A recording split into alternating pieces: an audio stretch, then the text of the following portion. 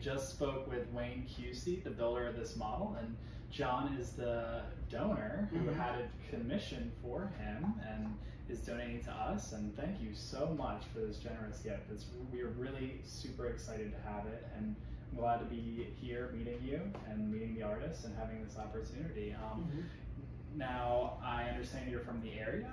Could you tell us a little bit about yourself? Where are you from? And, and what's your relation with the United States?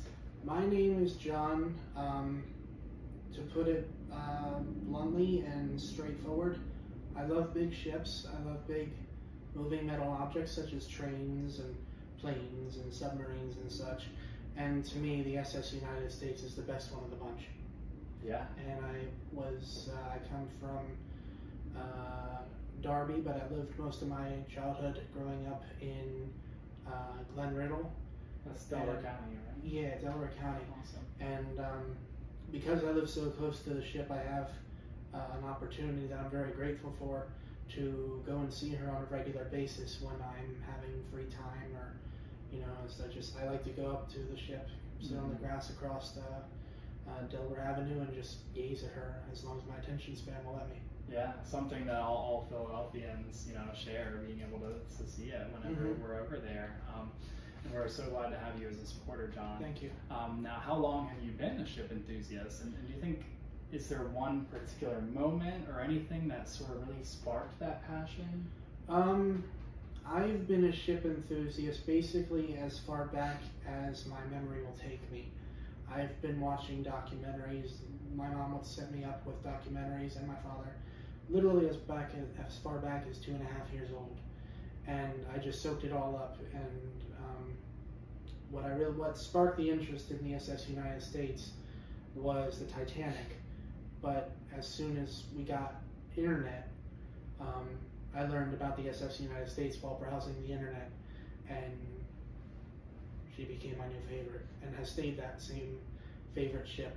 Uh, not just favorite ship, but favorite man-made creation of all time that I can find on the internet. Awesome. We certainly share that, that Mhm. belief with you. Now, how did you learn about uh, Wayne and, and his work with the toothpick ship models? Well, a while, quite a while back, I was. Uh, we had Make magazines uh, that would come to the house and stuff. I saw his uh, RMS Queen Mary model, the 20 foot, uh, 25 foot uh, toothpick model in Make magazine. At the time, I didn't think much of it simply because my my mind was in a different place. But then later on, uh, in 2019, I was browsing YouTube, and in, I was looking up Lusitania stuff.